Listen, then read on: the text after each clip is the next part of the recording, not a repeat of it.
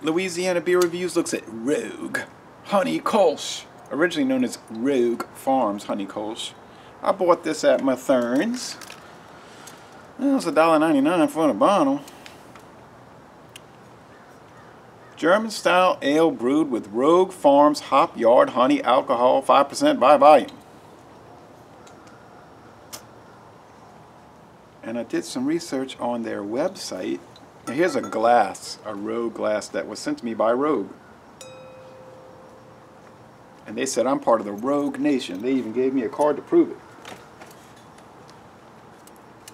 I have a number. Uh, 5% alcohol, like I said, 26 international bitterness units. Dare and Risk barley malts, wheat, dextra pills, and acidulated malts. They use two types of honeys.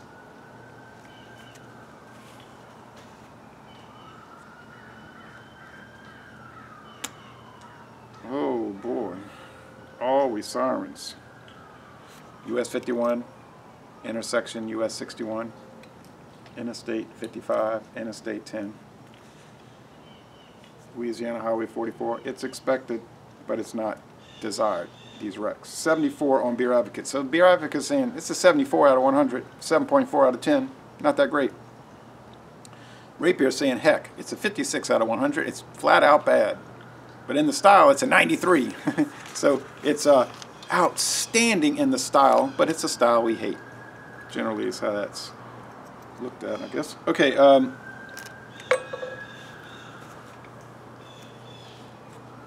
I want to thank Rogue for declaring me a citizen of the Rogue Nation, giving me a Rogue identification card.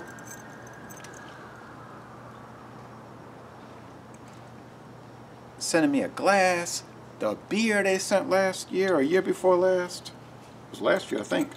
They even invited me to a pre-game party at Louisiana State University, but I didn't make it. I had to do something else.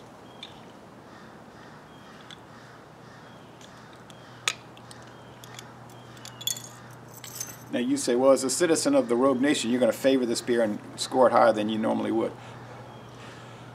That is not necessarily true.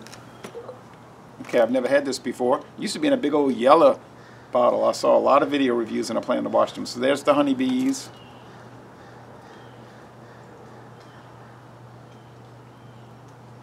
A lot of smoke, but it's not, it's being blown away by that slight little breeze.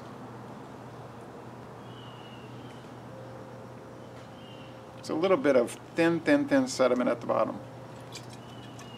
Now, one guy from Canada said last year he's going to send me some Sleeman honey lager. Still waiting on that. He, he insisted. I said, okay. Gave him the address. I said, well, I'm waiting on that honey eh, honey lager. Yeah, I don't have the address. Said, I uh, gave you the address in the message above. Oh, yeah. Said, so the honey ale, the honey lager, the Sleemans. Okay, um, I don't seek out these these uh, donations, but um, if somebody insists they send it and then they don't send it, it kind of gets a little irritating. Now that is very yellow. Gold with the sun shining at it and lemon yellow with the sun shining through it. Bubbly and hazy as heck with that. Yeah, see I did the swishing pour and there's a cloud, uh, um, a descending cloud. Well, kind of like staying put. No, it's starting to descend.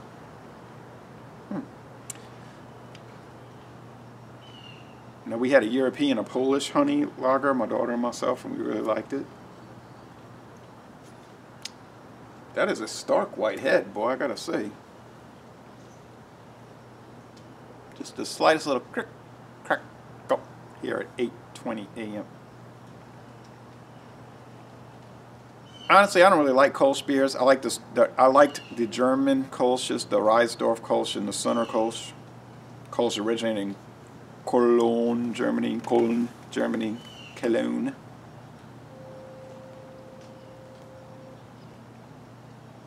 But I mean, they're all right.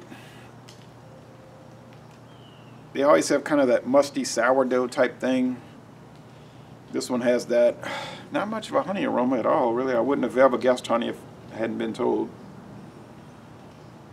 Yeah, so it's kind of that sourdough, lemony, Kolsche type thing. Now, you got to drink them to really appreciate what I'm saying about Kolsch, okay? If you just hear me describe it, it's never going to be adequate. You got to try a few, and you might really love them. All right. Or you might be be like me and be like, oh, mm.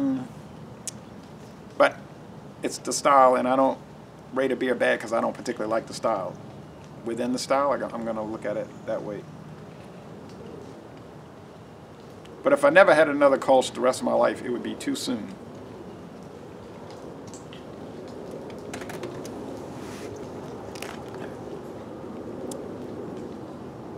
There's a faint honey flavor. They didn't overdo it. And I think they talked about it on the website. They don't make it too sweet. Just a little bit. Now when I have hot tea, I like to put a lot of honey in it. Get it really sweet. I don't usually buy honey. It's overpriced. Uh, Matherne's had some they got a hold of and it was really cheap. So I bought four different, four bottles. And it was true honey. Somebody said, that's fake honey. That's the New World Order honey. That's not real. I said, well, where do you come about this information? No response.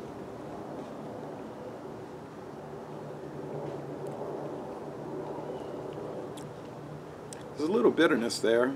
I can see the 26 IBUs.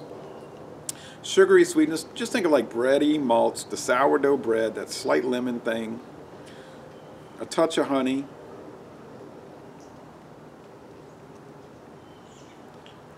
so much sweeter than wine.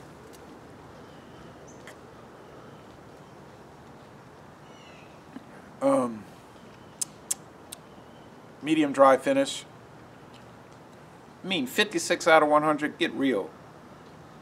Even 70, what I say, 74, 76 out of 100 is too low. Yeah, 74. I mean, me personally, it's not too high because I don't like the style, like I said. If I had to rate squash, I would be rating them all low. I don't like squash. I don't like that. Okay, or, you know, like eggplant. But some people love it. They just love it. They love it. Okay. Um, I notice these honey beers have like a little stinging at the end. It's strange honestly, and I try to be honest in a good amount of my videos,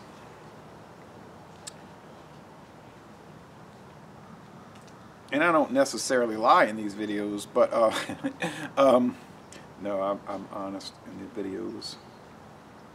And I'm going to tell you something right now. I would rather have the honey brown lager from Dundee. Yes, that's right. I would rather have Dundee honey brown lager from North American breweries producers of Genesee in Rochester, New York. I just think it tastes nicer, man. It's way cheaper.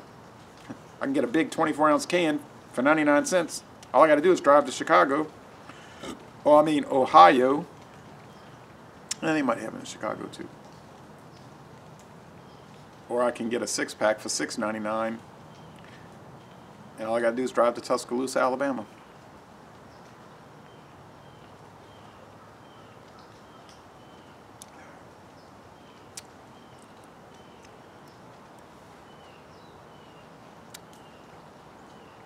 I'll say it has some kind of weird tap water taste too now. Hey, if I pay $1.99 for a beer, I am not going to love it if it tastes like bitter, lemony sourdough tap water, okay? But on the other hand, it's still not a 74. It's higher than that. Like, you know, if I, I used to grade papers and we used a high school grading scale and a 74 was like a, just a C, average. I mean, I think this is arguably good. It's like a B minus. Okay, so it's a B minus. It's at the lower end of good.